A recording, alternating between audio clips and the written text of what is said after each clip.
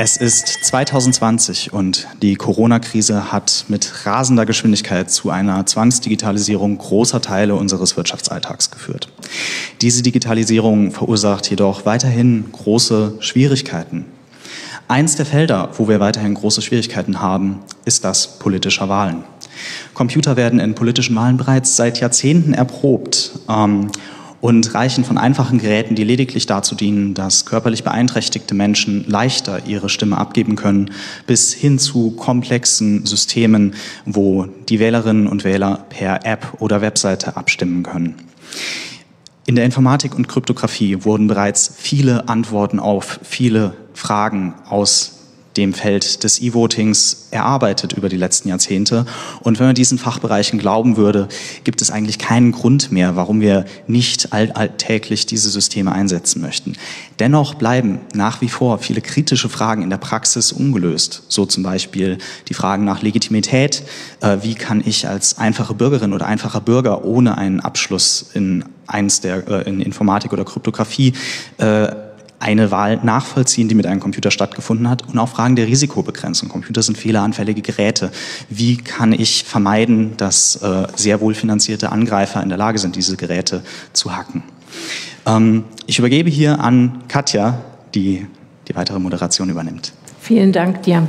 Herzlich willkommen, schönen guten Abend.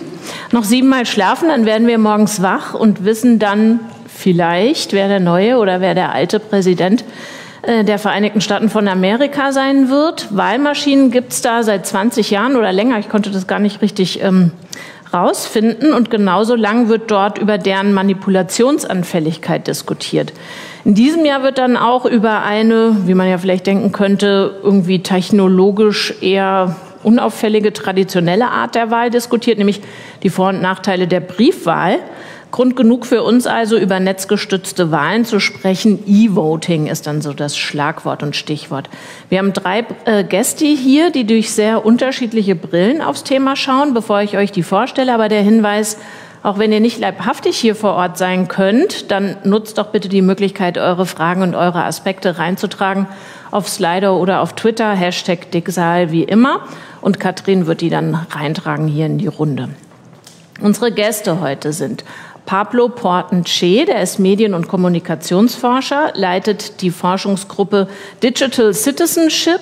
Ähm, da sind wir schon so haarscharf am Thema dran, des Weizenbaum-Instituts für die vernetzte Gesellschaft.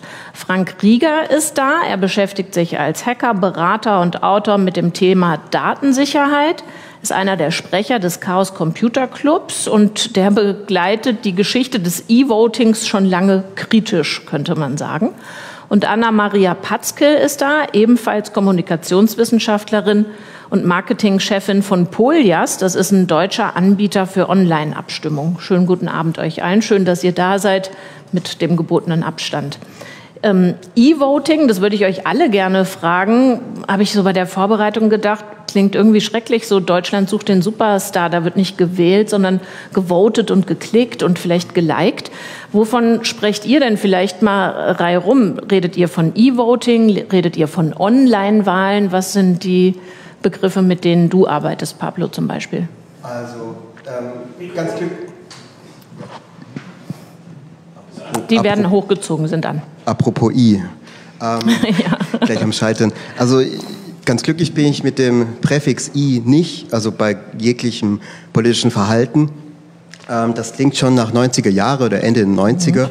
Trotzdem, wenn ich mir den, sagen wir mal, noch etwas spärlichen Forschungsstand angucke, dazu ja später sicher mehr, ähm, würde ich sagen, kann man sich darauf einigen, man kann damit arbeiten. Manche äh, verstehen E-Voting tatsächlich als Klammer für das, was Wahlmaschinen sind und für das, was tatsächlich online abgestimmt wird. Von daher kann man sagen, das könnte eher so ein Klammerterm sein mhm. für etwas, was noch ausdifferenziert werden muss. Ähm, ich kann es aber auch synonym begreifen. Ich finde, letztlich müssen wir uns hier in der Runde darauf einigen, welchen Begriff wir wollen. Und ich kann mit E-Voting leben, kann aber auch mit Online-Voting leben. Mhm. Anna, wie ist das für dich? Du hast genickt, meine ich, gesehen zu haben. Ja, also ich sehe das ähnlich wie du, Pablo. Also E-Voting quasi als ähm, Überbegriff. Und dann ist halt die Frage, spreche ich von Wahlcomputern, die vor Ort stehen im Wahllokal, wo ich also hingehen muss? Ähm, die dezentral funktionieren, ähm, oder spreche ich von der Online-Wahl, die ich ortsunabhängig überall machen kann und ähm, habe dann auch diese Nähe zum Thema Wahl. Ähm, das heißt auch Wahlgrundsätze und so weiter und grenze mich ab von dem Voting für die Weinkönigin oder so. Also wir würden von, von Online-Wahl sprechen tatsächlich. Mhm. Frank, mhm. und du? Ähm, also gut, man kann, kann da natürlich verschiedene Differenzierungen äh, aufmachen, aber im Kern geht es ja darum, äh, setzen wir Computer für Wahlen ein und sind die offline oder online? Also mhm. das sind halt so die beiden Unterscheidungskriterien. Und ähm, bei der einen Sache sprechen wir von Wahlcomputern. Äh, die andere Sache, ob wir da jetzt E-Voting zu sagen oder Online-Wahlen, ist mir ehrlich gesagt egal. Das bezeichnet im, im Wesentlichen dieselben Methodologien. Okay, dann gehen wir mal ähm, tatsächlich rein mit einem Szenario. Anna, so ziemlich genau in einem Jahr sind äh, die Bundestagswahlen in Deutschland. Also hoffen wir mal, dass wir dann soweit sind, dass wir wieder ganz regulär mit vielen Menschen irgendwo uns treffen können und wählen können. Wenn du dann abstimmen könntest auf deinem Tablet oder auf deinem Handy, würdest du es tun und mit einem guten Gefühl? Also ich sag mal so, ich bin Demokratie-Enthusiast. Ich liebe dieses Ritual, dass man sich dann schick macht, dass man dann äh, zu der Turnhalle geht und da ansteht und dann in die Wahlkabine geht. Ich würde das weiterhin machen. Und ähm, ich glaube, dieses Ritual ist auch extrem wichtig. Ähm, aber es gibt eben auch Leute, die haben andere Ansprüche an Mobilität und Flexibilität und die wollen sich ungern vorschreiben lassen, wo sie am Tag X zur Uhrzeit Y sein müssen. Und für die ist natürlich das Thema Fernwahl dann extrem spannend. Und äh, wir haben jetzt gesehen, bei der letzten Bundestagswahl 2017 haben, ähm, ich glaube, 28,6 Prozent äh, per Briefwahl abgestimmt oder gewählt. Ähm, und der Bedarf ist halt da, ne? Also irgendwie ein Fernwahlinstrument zu benutzen. Aber ist die Briefwahl nicht schon genau so eins? Denn äh, die Briefwahlunterlagen anzufordern ist ja wahnsinnig simpel. Ihr sagt, ähm, also Polias sagt, äh, tatsächlich würden Online-Abstimmungen die Wahlbeteiligung heben. Ist das so? Also wenn ich nicht weiß, ob ich an dem Sonntag da bin, dann bestelle ich mir halt vorher die Unterlagen. Richtig, also die Hürden sind nochmal andere. Also vor allem, wenn es um Langstreckenmobilität geht, ähm, eine Internetverbindung kriege ich mal eben schnell hin, aber wie lange braucht ein Brief? Einmal um die Welt. Also ich habe hier quasi das Thema Zeit und Kosten. Kosten für den Wahlleiter, der die Wahl organisiert. Und Zeit ist eben auch ein Faktor äh, bei, bei der Dauer, die die Stimme braucht, bis sie eingegangen und ausgezählt ist. Also, ich sehe da ganz ehrlich das Problem nicht, weil wir haben schon jetzt äh, zeitsouveränes Wählen. Also wir haben in den meisten Städten äh, sogenannte Briefwahllokale, wo man einfach hingehen kann, an, meistens über einen Zeitraum von vier Wochen äh, seine Stimme direkt vor Ort abgeben kann, wenn man da vorbeikommt. Wir haben eine funktionierende Briefwahl. Und ähm, die, diese Behauptung, dass äh, Online-Wahlen ähm, die Wahlbeteiligung steigern würden, wenn man da mal reinguckt, dann stellt man fest, dass die auf sehr tönernen Füßen steht, weil tatsächlich selbst in Estland, was ja immer so das Posterchild-Beispiel für irgendwie äh, Online-Wahlen ist und wo man gesagt wird, Estland total super, da hat alles prima funktioniert. Selbst in Estland ist die Wahlbeteiligung, äh, also die Steigerung der Wahlbeteiligung beim Übergang zu, äh, zu Online-Wahlen äh, noch im Spektrum des Rauschens gewesen, was sowieso zwischen, in der Wahlbeteiligung zwischen den Wahlen auftritt. Also die Wahlbeteiligung hängt nicht vom Wahlverfahren ab. Die Wahlbeteiligung hängt davon ab, ob die Leute das Gefühl haben, es geht um was. Die hängt davon ab, ob die Menschen denken, okay, meine Stimme zählt. Ich muss jetzt wirklich mich da mal irgendwie hinbewegen. Während wenn wir jetzt halt hören so in Deutschland hier so, ja, das Wahlvolk ist müde, es geht nicht mehr wählen. Möglicherweise liegt es daran, dass es irgendwie relativ wenig zu wählen gibt, weil sowieso immer eine große Koalition dabei rauskommt und weniger daran, was halt irgendwie tatsächlich die, äh, der Wahlmodus ist. Also dieses Argument finde ich immer so ein bisschen, es wird gern und oft gebracht, aber ist halt wissenschaftlich eigentlich nicht zu halten. Tatsächlich würde ich, ich weiß, du würdest gerne reagieren, Wahlbeteiligung kommen wir auch noch drauf, aber ich würde dich, Pablo, gerne auch noch mal in das Szenario reinwerfen. Bist du nächstes Jahr zur Bundestagswahl, also völlig hypothetisch und letztlich auch Quatsch, weil es ist äh, überhaupt nicht in der Pipeline, aber würden wir im Herbst 21 online wählen können, würdest du online abstimmen? Also aus aus Sicht des Forschungsstands müsste ich sagen nein, weil ähm, rechtliche Bedenken nicht nur Bedenken sind, sondern tatsächlich das Verfassungsgericht ja auch tatsächlich mhm. festgestellt hat, dass es zwei gravierende Probleme gibt, äh, nämlich dass Wahlen geheim gehalten werden können und dass sie öffentlich tatsächlich einsehbar sind. Das heißt, dass man hier tatsächlich nachverfolgen kann, ähm, wer was ähm, ähm, abgestimmt hat. Also nicht personenbezogen, also tatsächlich, dass man das Szenario, das man in, der, äh, in, in dem Wahlraum hat, äh, man kann noch korrigieren. Ne? Man kann nochmal auszählen. Dieses äh, Problem hat man online und dieses Problem mit der Geheimhaltung. Das andere Problem, das ich ansprechen würde, ist dann äh, tatsächlich technologischer Natur. Da bin ich nicht der äh, Experte, aber es heißt schon über viele Überblickspapiere hinweg, ähm, dass die ähm, dass, dass die äh, Verschlüsselung ähm, hackbar ist. Also es, man kann es tatsächlich von externer Seite, das hat man im Labor in Experimenten herausgefunden, da hat man zum Beispiel das estnische System herangezogen in, äh, in der Uni Michigan und hat nochmal das nachkonstruiert und hat festgestellt, die Server, die da verwendet worden sind, also baugleich mehr oder weniger, sind hackbar. Die Nutzer, ähm, tatsächlich so fiktive User vor Ort, der, deren Computer waren hackbar und so konnten die Stimmen tatsächlich so manipuliert werden können, äh, ja, wie man es eigentlich wollte, wollte. Von daher nein. Okay. Nein, in dem Falle, Frank, dich brauche ich gar nicht zu fragen, wahrscheinlich ja, genau wahrscheinlich, mit Verweis auf das Bundesverfassungsgerichtsurteil. Ich will es nur mal sagen. Nee, also ich kann dazu was sagen. Also wahrscheinlich würde ich ein paar tausend Mal abstimmen, weil irgendjemand muss den Punkt ja mal reinreiben dann. Also, der CCC hat durch demonstrative Hacks bei der Bundestagswahl 2005 klargemacht, dass Wahlcomputer manipuliert werden können. Das, äh, der Entscheid des Bundesverfassungsgerichts, den du, Pablo, jetzt genannt hast, geht genau darauf zurück. Ich zitiere es nochmal, die wesentlichen Schritte der Wahlhandlung und der Ergebnisermittlung müssen vom Bürger, und ich schätze, hier sind die Bürgerinnen mit gemeint, zuverlässig und ohne besondere Sachkenntnis überprüfbar sein. Aber könnte ja sein, da ist jetzt nun viel äh, Wasser die Spree runtergeflossen, dass in den fünf, letzten 15 Jahren vielleicht Tools und Anwendungen aufgetaucht sind, die das sicherstellen. Gibt es da was?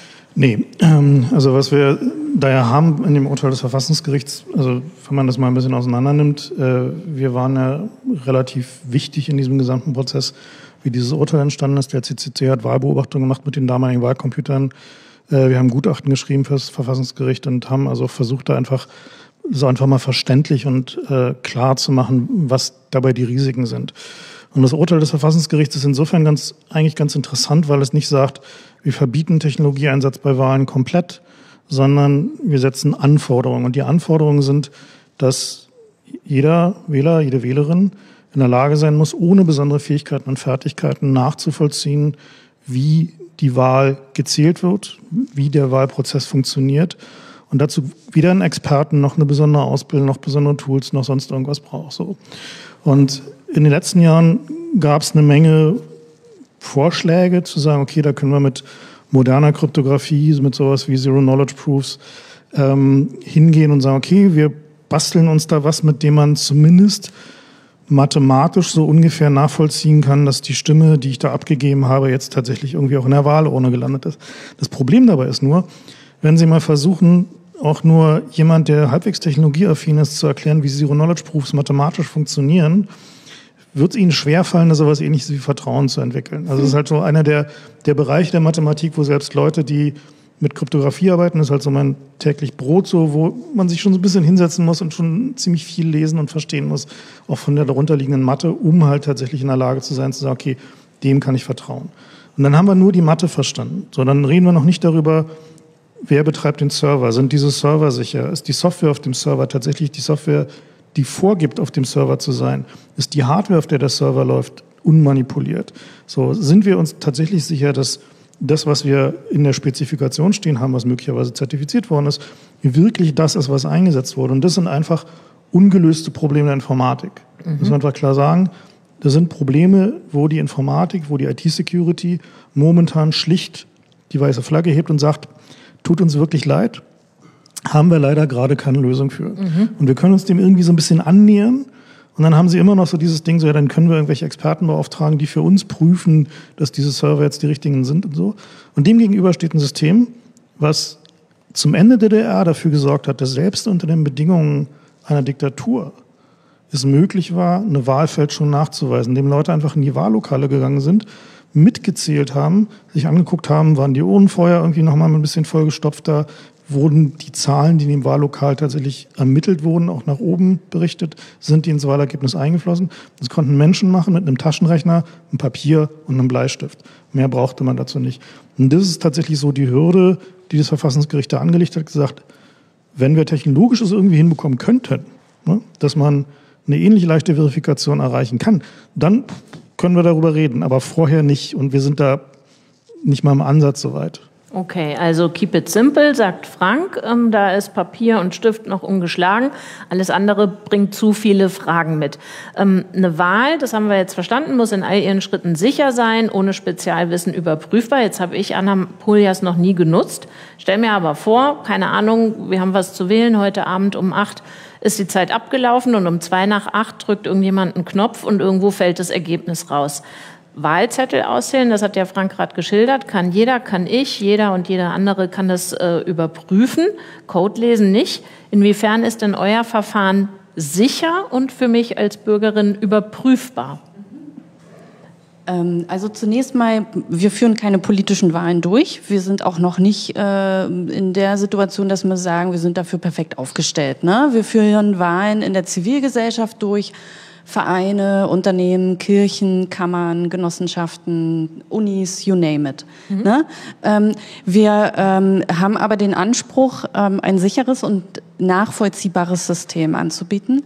Und ähm, das, die Überprüfbarkeit kann man quasi in zwei Kategorien trennen. Einmal ist die universelle Verifikation, das heißt, ist das Wahlergebnis korrekt ermittelt? Arbeitet das System integer?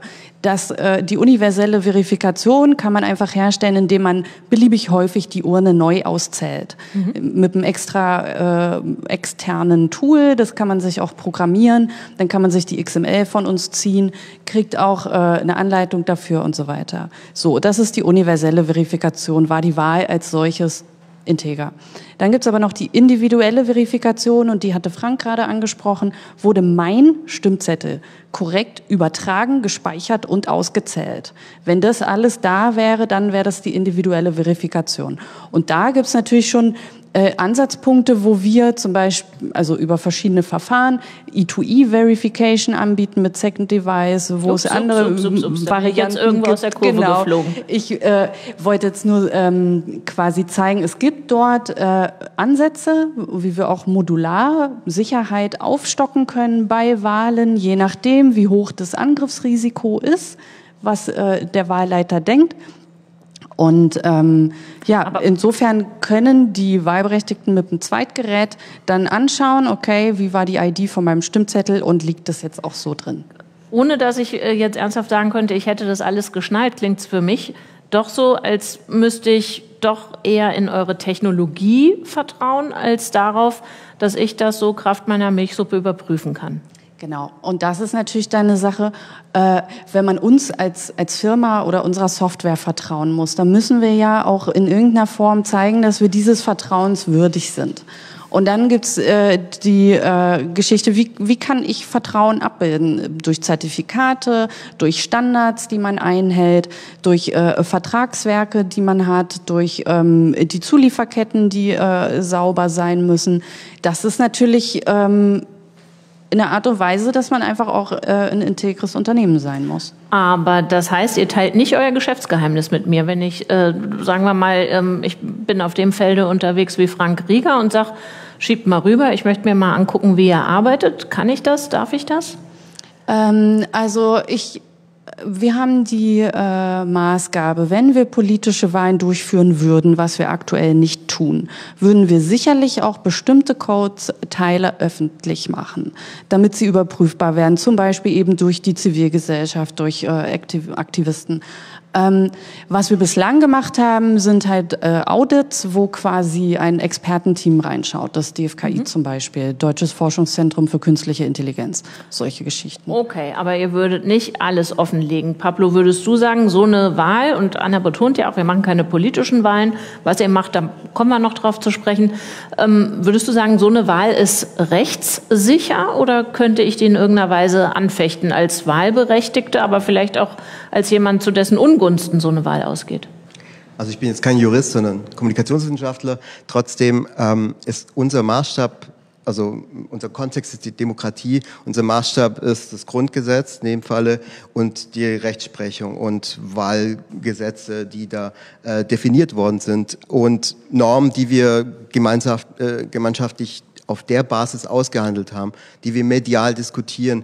Und da geht es weniger eigentlich um die Frage der Effizienz. Das ist ein Argument, aber ich würde sagen, es ist ein sehr kleines Argument unter vielen. Es geht eigentlich vielmehr um, wenn man so will, Bild der repräsentativen Demokratie. Es geht um Repräsentativität. Es geht um, wird man, wird meine Stimme repräsentiert und tut dies, das politische System, in dem wir leben, alles dafür, dass das so ist. Und dafür braucht es Sicherheit. Dafür braucht es nicht Vertrauen. Vertrauen wäre mir, in dem Fall zu wenig, sondern es braucht schon fast schon eine, eine tangible Sicherheit, eine, die man sehen kann. Und da finde ich, ist, ähm, die Vorstellung einer Wahlkabine, eines Wahlraums, eines Wahlbezirks, eines Stimmbezirks, äh, die Mobilisierung der Wahlkampf, das sind alles öffentlich transparente, ähm, medial vermittelte, für alle einsichtbare Prozesse, ähm, die, über die man nicht mehr reden muss, weil sie sind einwandfrei, also äh, sie sind eindeutig erkennbar.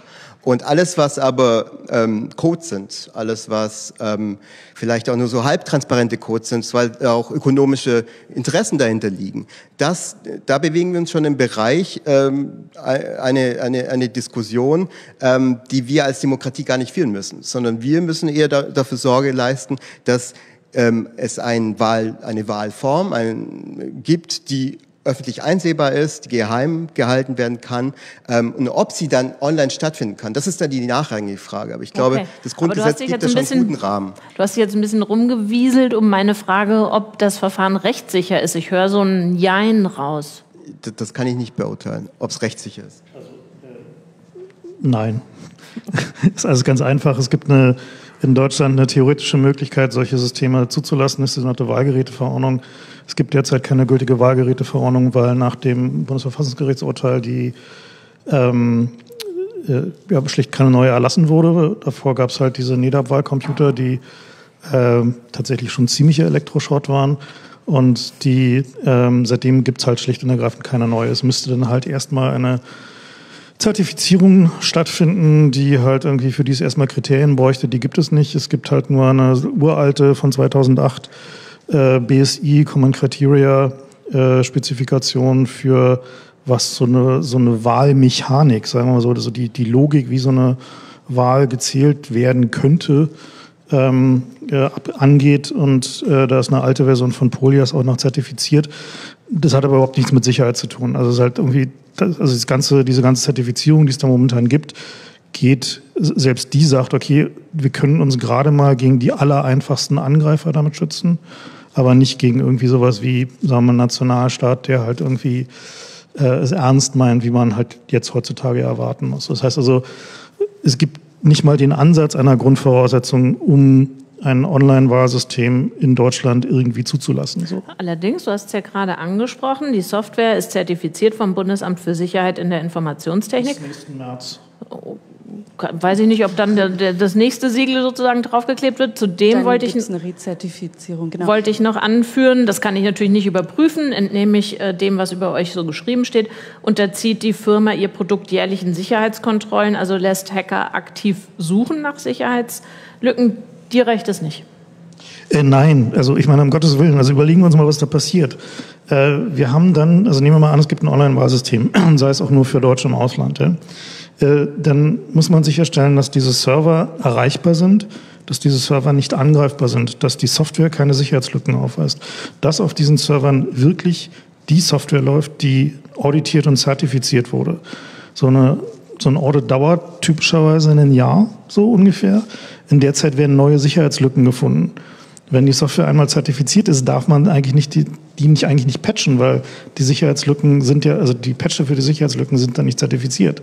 So, dann haben sie das, das gesamte Problem, dass man diese, diesen gesamten Vertrauensbaum, den man da aufbaut, so von der Hardware des Servers hoch, müssen sie ja nicht nur einmal machen, sondern mehrere Male. Also für die einzelnen Bundesländer, im Zweifel für die Kommunen und so weiter und so fort.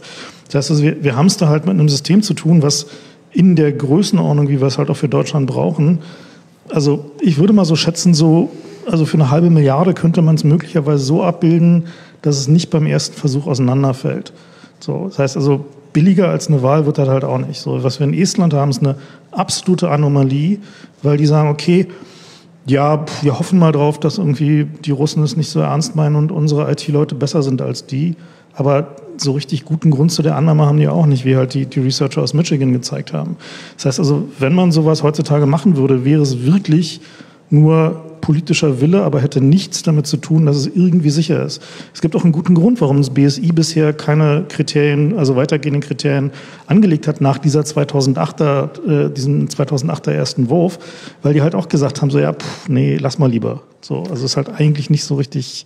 Also Anna, wenn ich es zusammenfasse, sagt Frank, rest in peace Online-Wahlen. Das werden wir nicht erleben.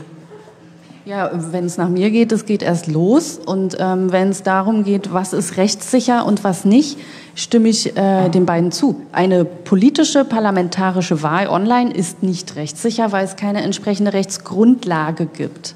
Aber äh, eine Hochschulwahl mit der entsprechenden Wahlordnung oder ähm, Eben andere Wahlen in der Zivilgesellschaft sind durchaus rechtssicher, weil sie eben nicht äh, den ähm, hochrangigen Rechten entsprechen müssen an der Stelle.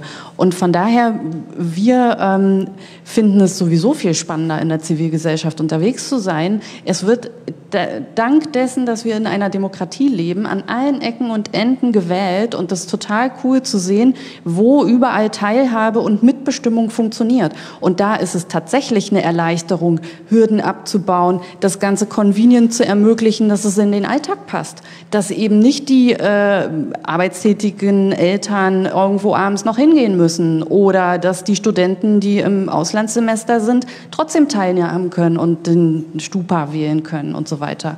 Also von daher Rechtssicherheit ja, aber nicht auf politisch-parlamentarischer Ebene. Wahlbeteiligung erhöhen ja, aber eben äh, gemeinsam mit der entsprechenden Kommunikation. Und das ist halt auch der Key dabei.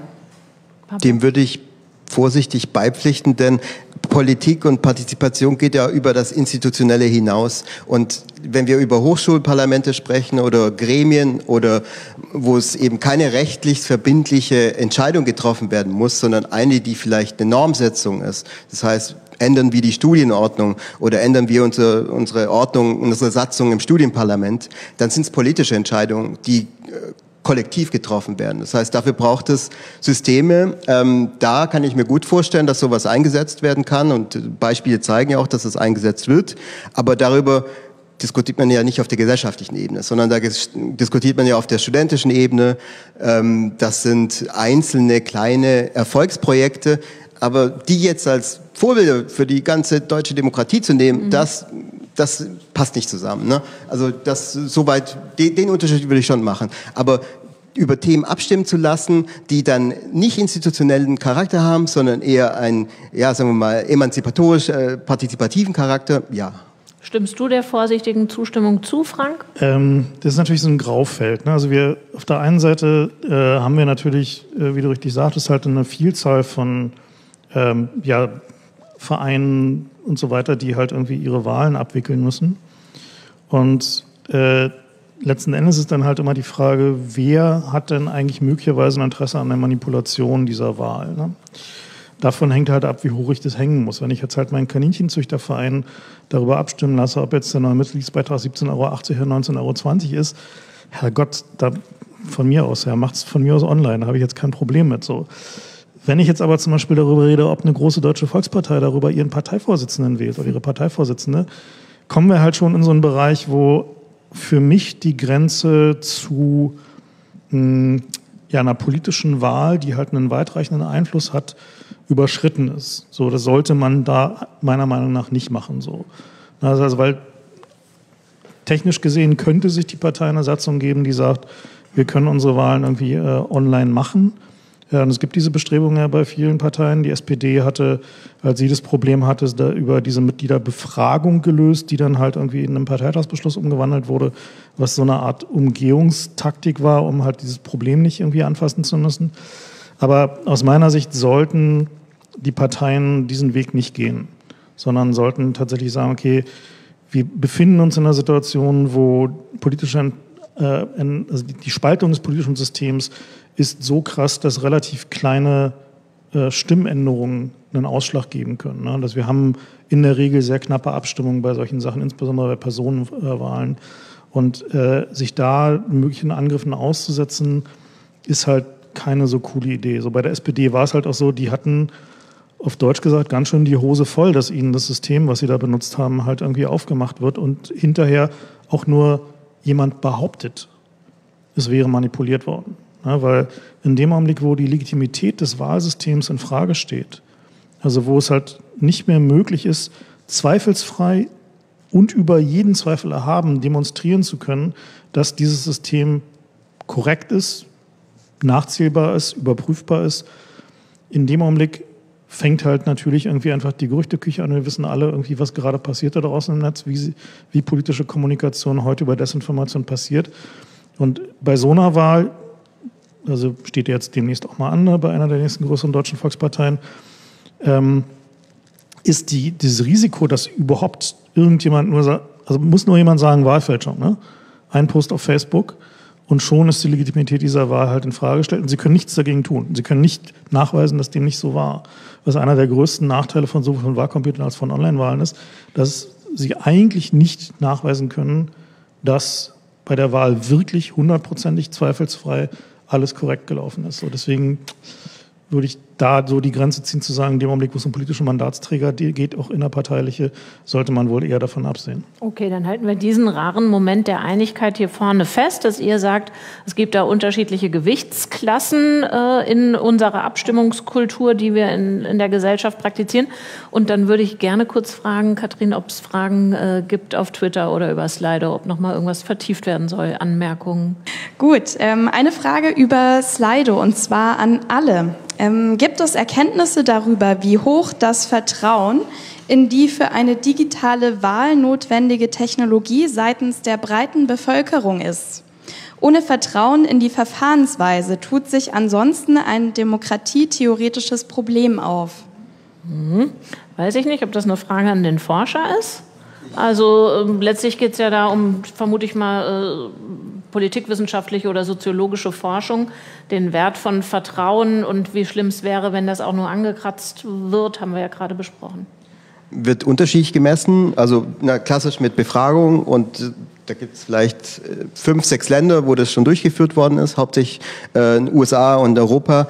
Und ganz vorsichtig würde ich sagen, äh, es besteht eher Vertrauen in diese Technologie, aber ich würde nicht unterstellen, dass es Kenntnis gibt. Das muss ich im gleichen Atemzug auch sagen. Mhm. Ich glaube, man, ich würde da nicht zu viel darauf geben. Also, also sounds good. sounds so good. Ja, sounds effect, efficient. Ah, ja. So mhm. why not? Mhm. Also das Vertrauen hängt immer sehr davon ab, wie viel äh, und was über solche Technologien publiziert wird. Ähm, wir haben das gesehen, als wir die Wahlcomputer-Wahlbeobachtung gemacht haben, mhm. Äh, im Vorfeld des Urteils vom Bundesverfassungsgericht, wo wir äh, in die einzelnen Wahllokale gegangen sind, wo Wahlcomputer eingesetzt wurden und äh, dann aber auch mit den Menschen geredet haben, die da wählen gegangen sind, die gefragt haben. So. Und äh, man sieht halt deutlich in dem Augenblick, wo sie auch nur ansatzweise ein bisschen verstehen, was mögliche Probleme sein können, bricht dieses Vertrauen quasi so lawinenartig zusammen. Mhm. Das ist das, ja. was Pablo mit Kenntnis meinte. Genau, also wenn in dem Augenblick, wo die halt quasi erstmal nur versichert bekommen, da geht schon alles mit rechten Dingen zu und äh, ist ja alles zertifiziert und abgenommen so. Interessiert die das nicht weiter? Also außer halt die Leute, die halt irgendwie zumindest selber Technikkenntnisse haben. Und ähm, sobald man aber auch nur anfängt, kurz zu erzählen, was irgendwie die Probleme sein könnten, bricht dieses Vertrauen wirklich äh, so ziemlich radikal ab. So. Gibt es weitere Fragen? Du kannst die auch einfach mir sagen und ich äh, verbalisiere die dann nochmal. Stille Post, mal gucken. Genau, wir haben noch eine Frage an Frank. Ähm, ist nicht das größte Problem, dass jeder nach der Wahl das System anzweifeln kann? Und allein das Gerücht könnte Unruhen auslösen. Ja, das hatte ich ja schon, schon kurz erwähnt. Genau dieses Problem äh, gibt es. Und äh, genau dieses Problem werden wir jetzt vermutlich auch bei den äh, Wahlen in den USA beobachten können. Da sehen wir ja, dass äh, vorausschauend viele Bundesstaaten ihre bisherigen Wahlcomputer, die ohne Papier funktioniert haben, also wo man halt keine, nicht nochmal ein Papier zum Nachzählen hat, äh, abgeschafft haben. Also jetzt die letzte Statistik, die ich sah, war, dass unter vier Prozent äh, der Amerikaner und Amerikaner dieses Jahr auf einem papierlosen System wählen werden. Das heißt, es ist halt dramatisch abgerutscht, der, dieser Prozentsatz. Die USA waren eigentlich eher so auf dem Weg nach oben. Und aber nachdem es halt allerhand Probleme gab bei diesen papierlosen Systemen äh, und auch jede Menge Zweifel, haben sie die halt wieder abgeschafft.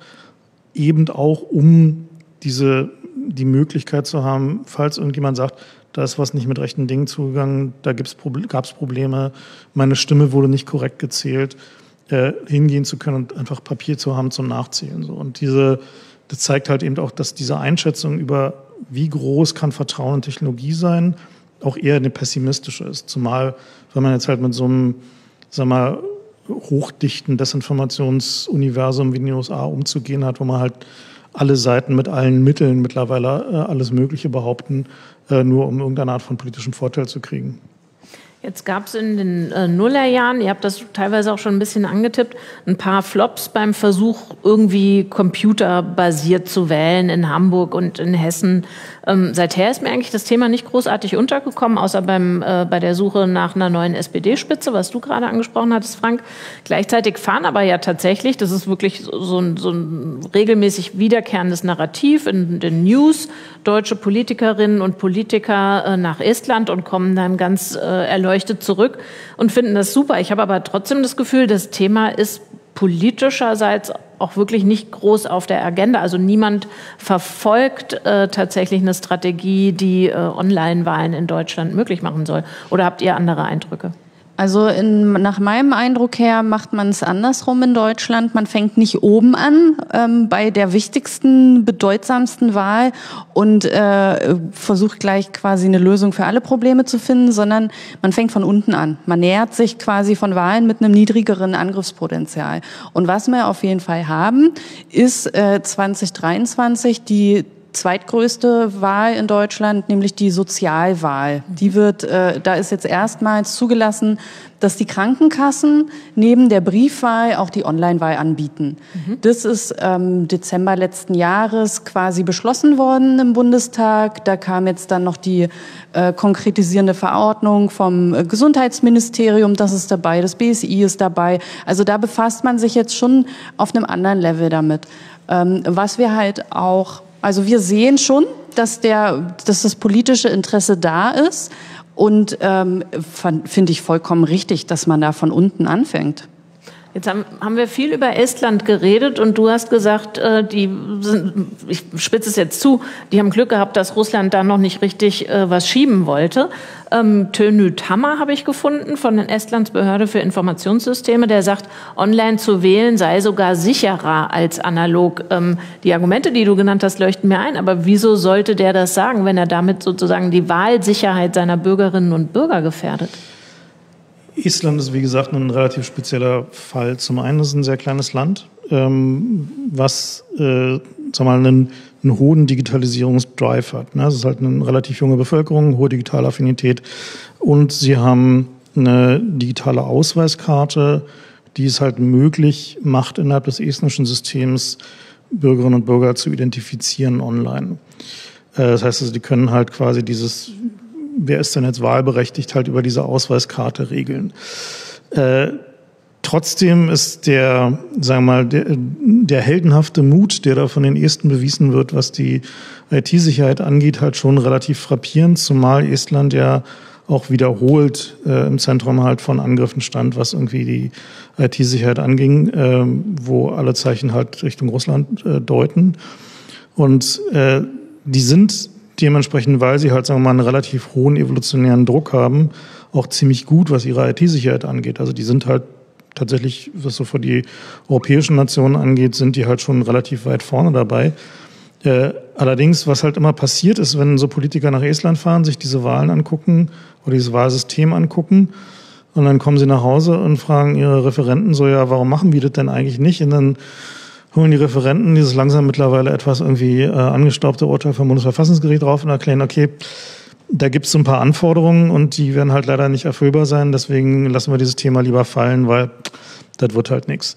Dieses, ähm, dieses, sag mal, langsame Temperaturhochdrehen, so Frosch im Wasserglas, so mit jetzt mit den Wahlen von unten, beobachten wir tatsächlich sehr kritisch. Also gerade diese Sozialwahlen, da sind wir tatsächlich mal sehr gespannt, was irgendwie die Zertifizierungsrichtlinien des BSIs äh, dazu sein werden. Ähm, meine Vermutung ist, dass es da auch noch zu mehr oder minder großen Problemen kommen wird, weil halt einige dieser Probleme halt einfach schlicht und ergreifend technisch nicht rechtssicher lösbar sind.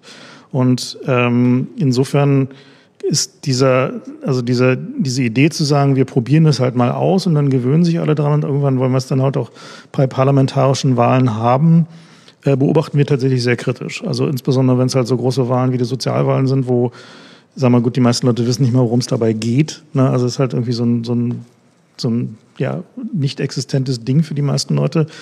Äh, aber äh, quasi, sag mal, dieses Weichkochen, dieses Gewöhnen an, äh, an Online-Wahlen, um dann irgendwann zu sagen, wir ignorieren jetzt diese ganzen Sicherheitsprobleme, halten wir für sehr kritisch.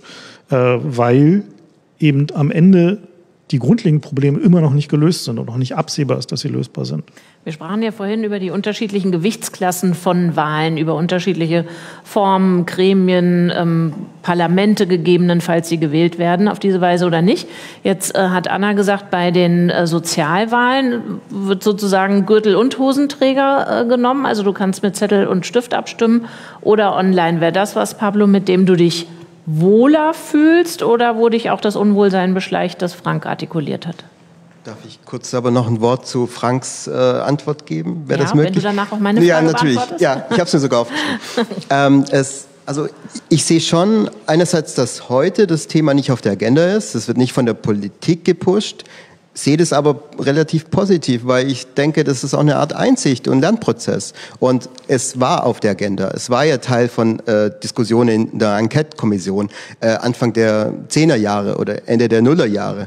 Dann gab es dieses Urteil. Also es waren schon Diskussionen auf hoher Ebene, wo bestimmte Akteure Interessen hatten, dass äh, hier das installiert wird. Und ich glaube, man hat daraus gelernt und man hat gelernt, dass es eben erstmal wieder verschoben wird in, in die Technologie Technologie und an die äh, rechtliche äh, Instanzen äh, Deutschlands. Und da gibt es Expertise, die eben anders gelagert ist als in der Politik. Jetzt ähm, Sozialwahl. Ähm, das ist, äh, ich glaube, ich habe einmal dran da teilgenommen. Ich weiß noch nicht mal, um was es wirklich ging, muss ich ganz ehrlich sagen. Das, und ich bin sehr politisch interessiert. Ähm, das ist, mag jetzt ein bisschen Widerspruch klingen, aber ich weiß nicht, was man da abstimmt. Und äh, ich würde jetzt mal unterstellen, dass es keine Wahl ist, die man vergleichen könnte mit ähm, Landtagswahlen, Europawahlen. Ich würde weitergehen bis zu Kommunalwahlen. Dann sage ich jetzt mal äh, provokativ, ist also wurscht, ob die manipuliert werden, ist nicht so wichtig. Nee, das, das auf jeden Fall nicht, weil da geht es ja um unsere Sozialsysteme. Also so, so, das würde ich auf jeden Fall nicht unterschreiben, sondern es ist eine wichtige Wahl.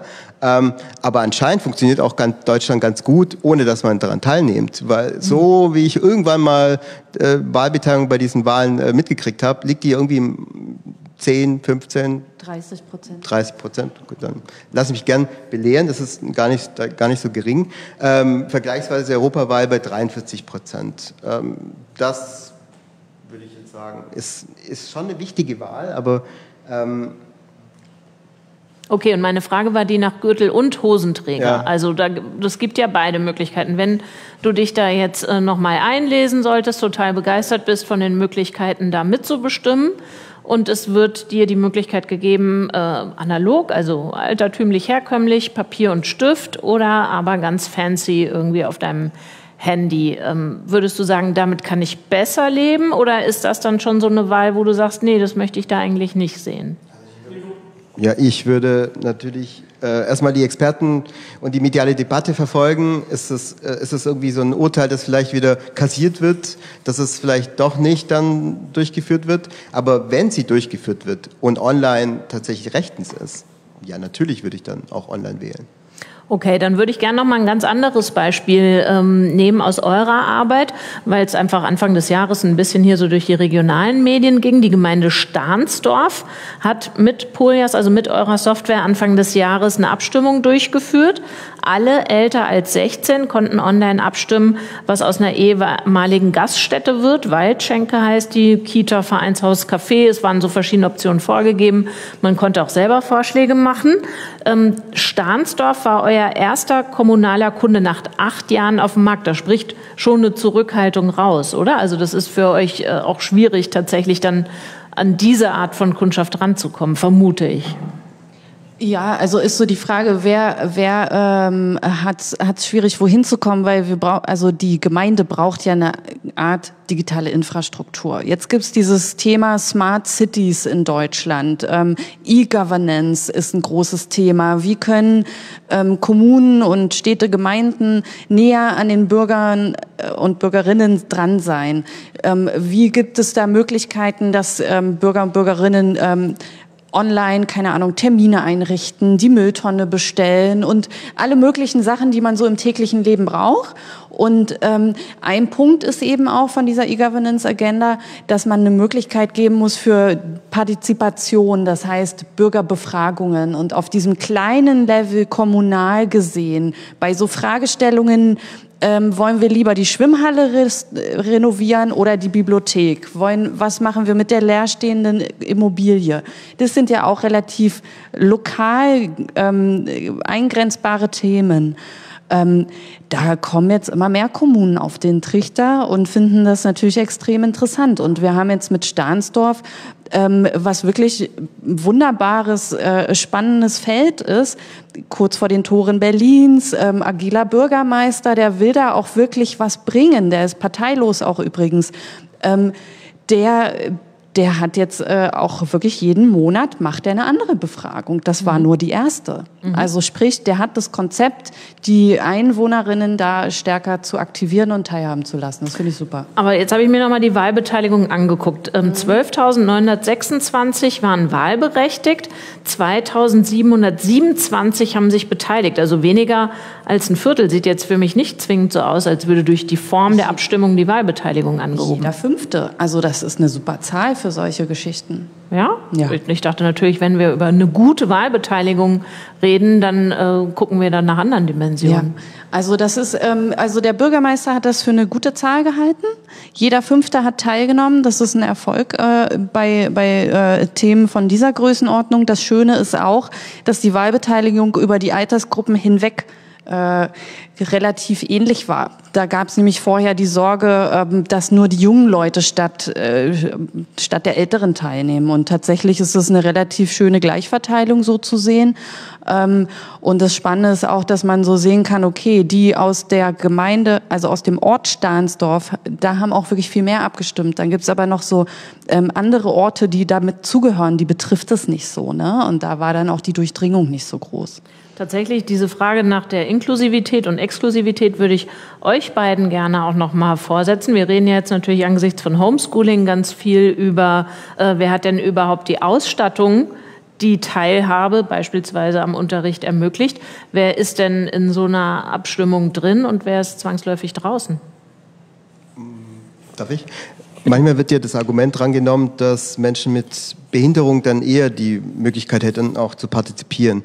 Theoretisch ist es ja schon richtig, ähm, aber ich finde, die Gesellschaft muss an sehr, sehr vielen anderen Stellen ähm, dafür Sorge leisten, dass äh, Barrierefreiheit besteht und dass Menschen mit Behinderung ins Kino können, am kulturellen, am politischen Leben teilhaben können. Und das Wählen eines davon. Das heißt, das als Argument zu nehmen, finde ich eigentlich relativ dünn für dieses Repertoire, das die Gesellschaft eigentlich für Menschen mit Behinderung eigentlich bereitstellen müsste. Mhm. Deswegen würde ich das da in diesem Kanon an auch scheinbaren Argumenten für Online-Wahl, würde ich das eigentlich da vorsichtig verpacken.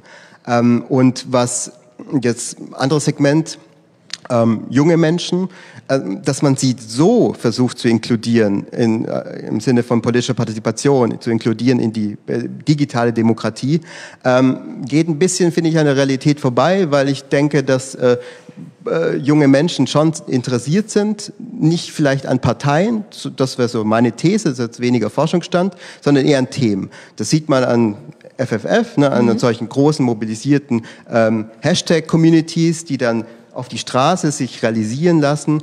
Das sind andere äh, Mechanismen, die jetzt äh, weniger auf Repräsentation aus sind, sondern eher auf Diskursivität. Und das sollten wir schon sprechen, also über die, die Norm, die wir eigentlich auch bei vielleicht scheinbar äh, nicht inkludierten Menschen gesetzt sehen wollen. Mhm. Und ich denke, die gibt es schon, nur wir packen sie oder wir schauen mit einem falschen Auge drauf, mit einer falschen Perspektive drauf, nämlich mhm. Technologie zum Beispiel.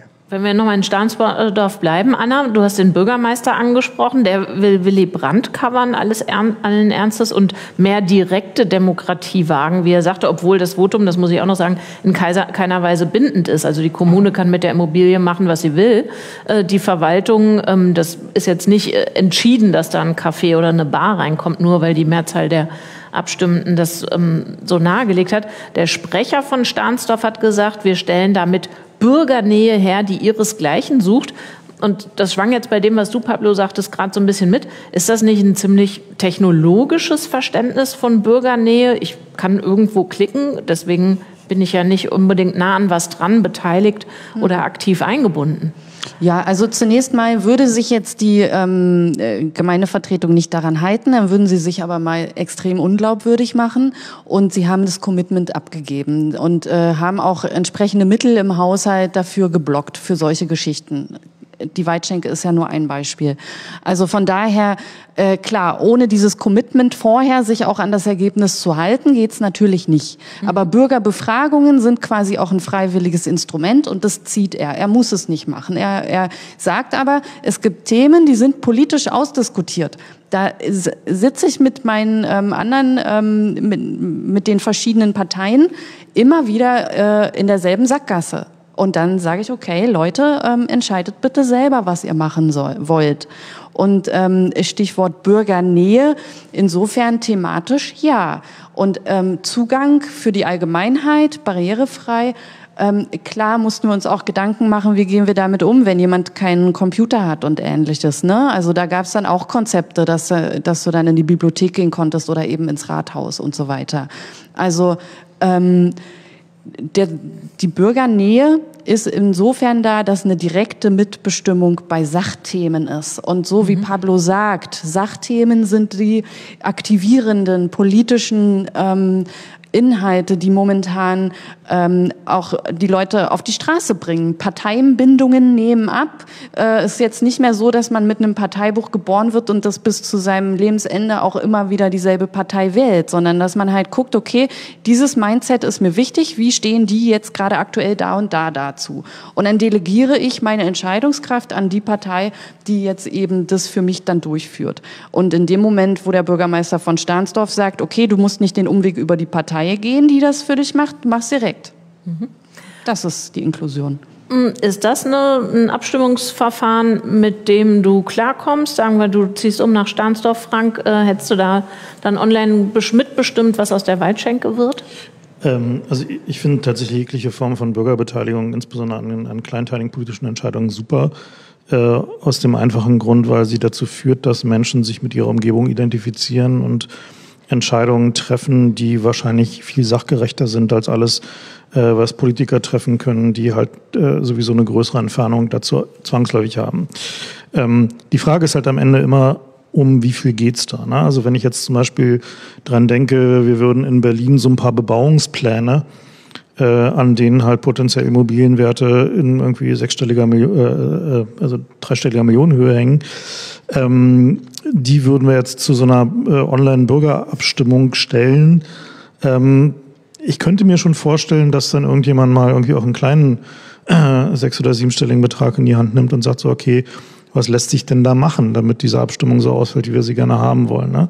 Heißt, es geht halt immer darum, wie hoch sind die, ähm, ja, sozusagen die Werte, die, die Dinge, die Folgen, die halt dabei im Raum stehen ähm, und wie gut glaubt man, sich halt gegen entsprechende Angriffe schützen zu können. Das ist halt immer quasi so eine Frage von, wie teuer ist der Angriff, äh, wie, wie hoch, wie viel Geld kann ich für eine Verteidigung ausgeben. Prinzipiell ist aber so, dass ähm, sag mal, reine Befragungen sind sowieso die langweiligsten Teile von, von Bürgerbeteiligung. Äh, es halt, geht halt eigentlich gerade auch bei diesem, was man so schön als Smart City äh, bezeichnet wird, sind ja meistens eher so Top-Down-Modelle. So, wir haben uns hier am grünen Tisch was ausgedacht und ihr, liebe Bürger, könnt jetzt mal A, B oder C auswählen. Äh, was aber wirkliche Bürgerbeteiligung bedeutet, ist, dass man halt ein Verfahren eröffnet, wo die Leute in der Lage sind, ihre eigenen Ideen einzubringen, eigene Vorschläge zu bringen, möglichst äh, nicht nur irgendwie zwischen Optionen entscheiden zu können, sondern auch Nuancen abbilden zu können. Äh, und das ist halt eigentlich eher tatsächlich das, was, wo man hin muss mit so einer Stadt, dass man halt nicht nur simple irgendwie Ja, Nein oder irgendwie diese oder diese Option Entscheidung fällt, sondern wirklich anfängt mit den Menschen zu reden, die von Entscheidungen betroffen sind, ähm, und auch, ich meine, es gibt jede Menge neue Konzepte davon. Also es gibt halt zum Beispiel halt auch so diese, äh, diese Bürgerräte-Konzepte, wo man sagt, okay, man nimmt sich einfach mal zufällig irgendwie 40 Leute aus, dem, aus der betroffenen Bevölkerung, äh, sieht zu, dass sie so irgendwie geschlechts- und altersmäßig halbwegs gut verteilt sind, also entsprechend dem, wie es da so aussieht, und konfrontiert die mit dem Problem, was zu diskutieren ist. Und erstaunlicherweise gibt es dabei immer wieder, wenn die halt ein bisschen von Experten eine gute Einführung bekommen, sehr gute Ideen, sehr gute Lösungsvorschläge. Ist aber wiederum nicht so convenient. Ne? Auf die vorher noch nicht. Nee, Zeit, aber Demokratie ist halt eben auch nicht convenient. Ja? Also ich meine, ist halt so, wir haben uns jetzt irgendwie daran gewöhnt, dass Demokratie convenient sein muss, weil Diktaturen auch convenient sein, sind, aber und man sich da nicht um so viel kümmern muss. Aber das ist halt, glaube ich, der falsche Ansatz. Also man muss halt einfach klar sagen, eine, der Erhalt einer lebendigen Demokratie erfordert, dass man sich darum kümmert dass man an seiner Umgebung teilnimmt, dass man versucht, sich dafür zu interessieren. Wenn es einen nicht interessiert, muss man sich auch nicht darüber beschweren, wenn Dinge passieren, auf die man keine Lust hat. Ja, ist ganz einfach. Jetzt haben wir losgelegt mit den Wahlen in der kommenden Woche und der Briefwahl. Und man muss ja nicht Donald Trump sein, um vielleicht doch kritische Fragen zu haben an die Briefwahl. Also wer hat denn gewählt im Altersheim oder vielleicht auch äh, zu Hause, wo die Briefwahl beantragt wurde? Hm, worauf ich hinaus will, ist die Idee der fälschungssicheren Wahl ein Ideal oder sieht einer, eine von euch das in irgendeiner Weise irgendwo realisiert? Nicht ganz auf Fälschung eingehend, aber wenn man jetzt die Ergebnisse vergleicht zwischen Briefwahl und äh, Ballot Box in den USA, mhm. dann stellt man fest, dass es keine Unterschiede gibt in der Parteiwahl. Na, das sagen Studien. Ähm, da mag es vielleicht auch die eine oder andere Perspektive drauf geben, aber das mal so als Beispiel. Ähm, von daher, ähm, ja, Fälschung sicher. Also wir haben in Deutschland ja die Situation, dass es eine ähm, mal, so eine gewisse Obergrenze gibt, äh, die das Verfassungsgericht definiert hat und gesagt hat, so wenn sich so den 30, die 30 Prozent Briefwahlquote überschreitet, dann nähern wir uns so einem Bereich, wo wir nochmal reden müssen, also wo der Gesetzgeber halt möglicherweise auch noch irgendwie andere Überlegungen äh, einfließen lassen muss. De facto ist es aber so, dass die Situation, was die Briefwahl angeht, in Deutschland und in den USA grundsätzlich unterschiedlich ist, weil wir in Deutschland halt ein Meldewesen haben. Das heißt, die, äh, die Wählerlisten und Wählerinnenlisten werden hier erstellt äh, aus den amtlichen Meldedaten. Und die sind, gut, in Berlin sind sie jetzt nicht so besonders korrekt, aber in den meisten anderen großen deutschen Städten und auf dem Land insbesondere sind diese Meldedaten halt schon ein relativ gutes Abbild der tatsächlichen Realität von den Menschen, die da wohnen. So, das heißt, dass äh, man, also das Wahlsystem weiß ziemlich gut, wer Wahlunterlagen bekommen hat.